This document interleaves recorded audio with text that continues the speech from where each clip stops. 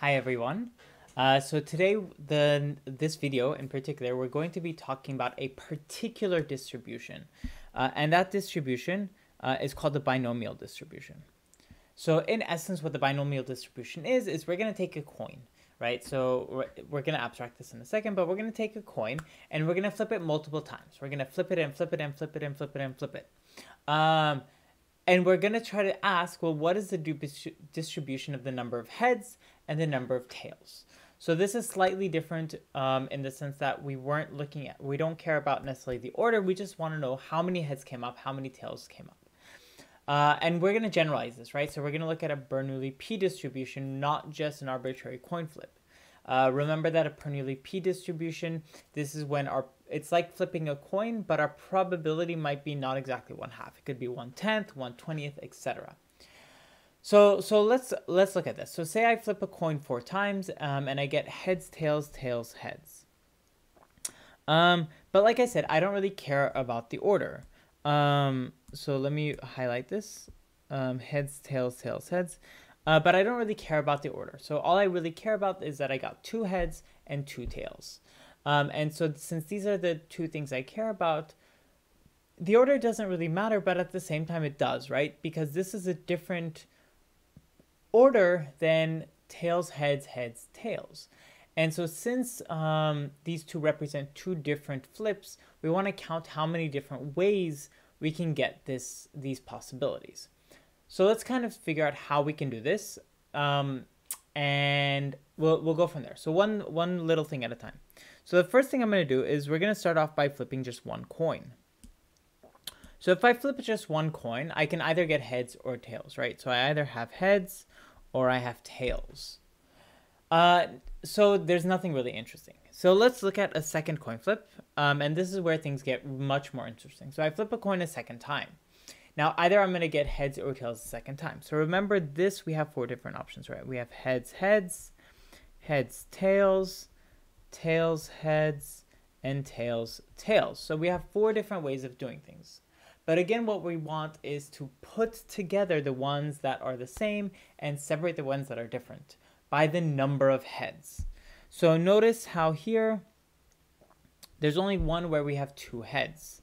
So what I'm going to do is we're going to have just one with two heads. So I'm going to put an HH there to say two heads. Uh, there's also just one with tails, tails. So we're going to say, maybe I'll keep this in blue. There's only one with tails, tails. So let me make this heads, heads red so we see the colors. Uh, and then here in the middle, there's two that have one heads and two that have one tails. Uh, in other words, when I look at heads, tails, we're going to have two of them. Um, and these give us our four different possibilities, right? One, two, three, four. So we have four different ways. Uh, and so remember back when we were talking about common student error, this is one way to, another way to see that there's where the problems kind of lie. Uh, okay, so now say I flip a third time. Well, if I flip a third time, uh, I'm not going to show this in um, full detail. Like I'm not going to show the, the three different orders. But what we end up getting is we have heads, heads, heads one time. Uh, now heads, tails. This I can either add a heads. If I add a heads, um, oh, okay. So I can add a heads here and that'll give me heads, heads, heads. So we have one way of doing this. I can add a tail here or I can add I can add a tail in this one, or I could add a heads in this one in order to get heads, heads, tails, right? That means I'm going to have three of these. One from the red, two from the green. Uh, now, what I can do, so this one is done. So I'll give a little check mark. This one I'm only missing, I can add a tails here. I can add a heads here. And these are the three ways I can have heads, tails, tails. So notice how two is coming from the green, one is coming from the blue. Uh, and then finally, um, so this one is done. Uh, we have one left over where we have tails, tails, tails. Uh, now back in the day, you've probably seen these numbers before. Uh, this is what's called the binomial um, coefficients. Um, and we can design these in what's called Pascal's triangle. Uh, so this is probably some design you've seen before, right? Uh, I'm going to zoom in and we're going to look at this a little further. Basically, we start off with just one thing, right? So we have nothing. And then I can either flip a heads, right? So I can either flip a heads or I can flip a tails. And that'll give me 1, 1. Uh, in other words, there's one option for heads here and one option for tails. Uh, then I'm going to flip heads here, tails here, heads here, tails here. I'm going to add something into the set. And here's where we had heads, heads. Here's where we had heads, tails. And here's where we had tails, tails. Now I can, this is kind of what I was doing with the previous thing where I was grabbing something from each one. Um, so if I label each edge with heads or tails, depending on what I add, then here I can see I'll have one with heads, heads, heads. I grab the one from heads, heads, two from heads, tails, and we get heads, heads, tails. Here we have tails, heads, tails. So two tails and one heads. And then finally we have tails, tails, tails. Now this is all nice and good. Um, but we're going to look at this slightly differently. What we're actually going to do um, is, so, so first off, let me remove this and we're going to look at where um, these numbers directly come from, right? So if you notice kind of what we were doing is when I was looking at coming from 1 to 2, right, when I was adding things, I just added them together. So this is equal to 1 plus 2. 1 plus 2. So the way I got 6 here is I took 3 and I took 3 and here I have 3 plus 3. So I look at the two numbers above and that's how it is created. So for example, if I were to look at where these kind of go, 6 and 4, then I do 6 plus 4, this is going to be equal to 10. So this is where this is coming from. Um, now, another thing we might want to do with this triangle uh, is we might actually just want to add directly our probabilities to it, right? So if you think about it for, for a little bit, um, when we're looking at the different options, so when we were looking at, um, I guess I should have kept the, the heads, tails. So like, for example, when we were here, this is probably a good place to look at things. Uh, remember how we had the four different options, right? So I have, this means I'll have a one-fourth chance of coming here. I have a two-fourths chance of coming here. And I have a one-fourth chance of coming here. These coefficients on top are really coming from these numbers here. Um, and so what we can do is actually just take this and add probabilities um, on top of this. Uh, and so what we're going to do is we're going to just take this and instead of doing 1 half, so notice how this is 1 half times 1 half, 1 half times 1 half uh, times 2. Uh, so this is 1 half times 1 half. This is uh, 1 half times 1 half times 2. This is 1 half times 1 half. And where these 1 halves are really coming from is what I can do is I can set p here and 1 minus p here. This is just going to be the probability that we flip a heads. And tails, this is going to be the probability that we flip a tails. Um, sorry, 1 half. So heads, uh, tails, right? So let's try to take this and generalize this without this one half, one half. What happens if I just have an arbitrary probability? So I don't care about whether it's a 50% or a 0%. Let's just look at this arbitrarily. So what we're going to do is we're going to keep this p in my 1 minus p, and we're going to replicate this. So what we're going to do is let me kind of erase some of the things that we don't really need, and then we'll re-add this in a second. Uh, we don't need this, we don't need this, we don't need this. We'll take this off. Uh, and we're basically going to label these edges exactly like I did before but instead of heads, tails, I'm going to label them by the probabilities of getting that certain thing. In other words, the probability of getting heads, the probability of getting tails. Okay?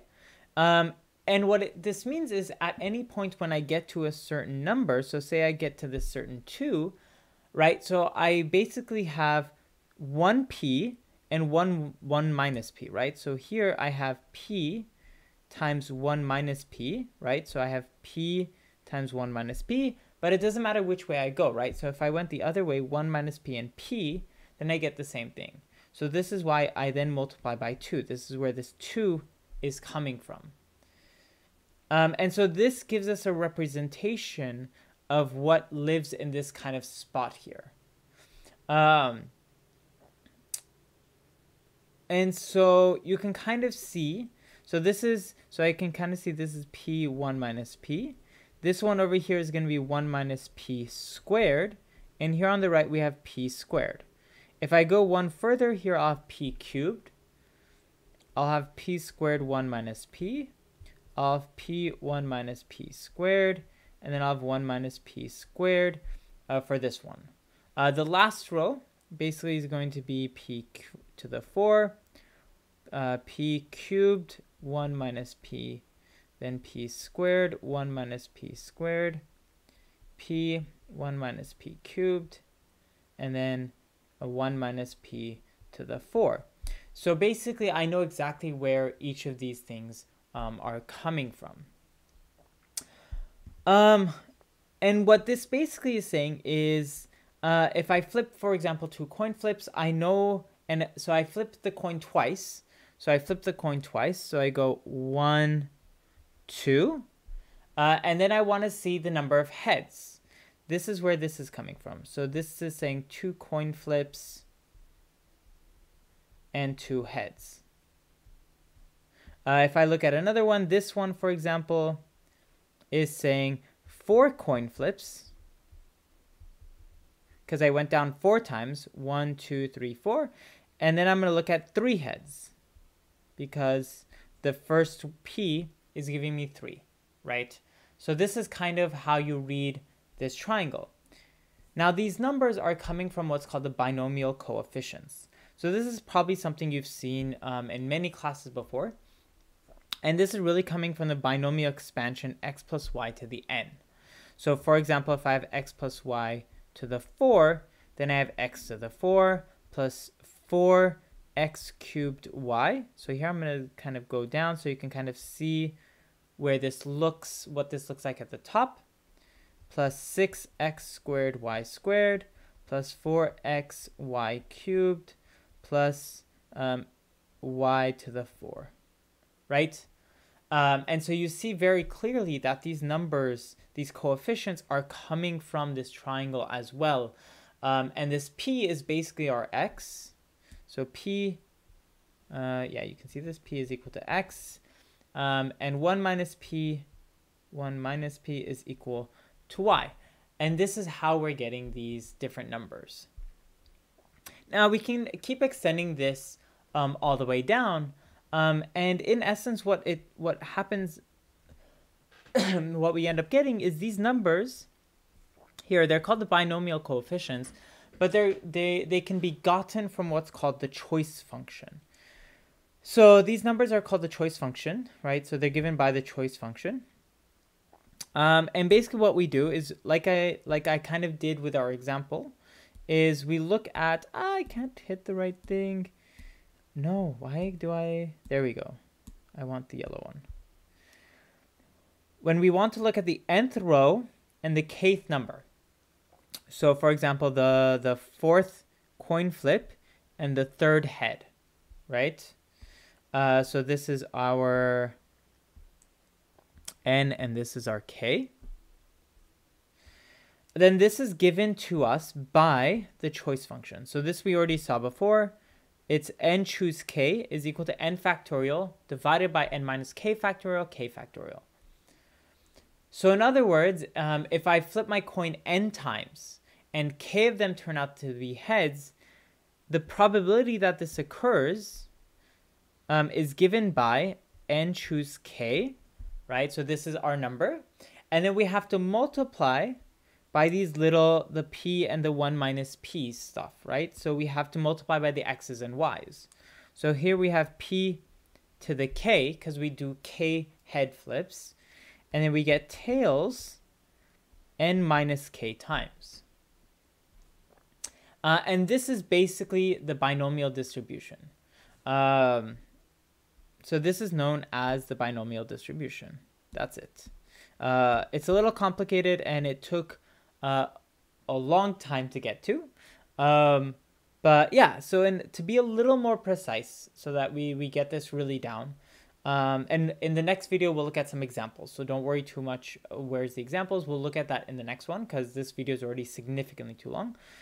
Um, is when we have n trials of pro with probably p of success, then the binomial probability formula, this is given by uh, p of k successes in n trials is equal to n choose k, p to the k, 1 minus p n minus k. So here really you can think of this as k heads, uh, let me do this in a different color, k heads in n coin flips. So if that kind of helps you think about this, this is really what we're doing. Um, and for some fixed n and p, then these binomials probabilities actually give us what's called the binomial distribution. So this is technically um, where this distribution name is coming from. Uh, notice that we do have zero in our distribution, right? So we do have a zero here. Um, and this is why we always let 0 factorial be equal to 1, or else we couldn't make this uh, function properly. Uh, that would be kind of it. So we'll stop here. This video is way too long already. Um, and we'll look at some examples in the next uh, video. So thank you.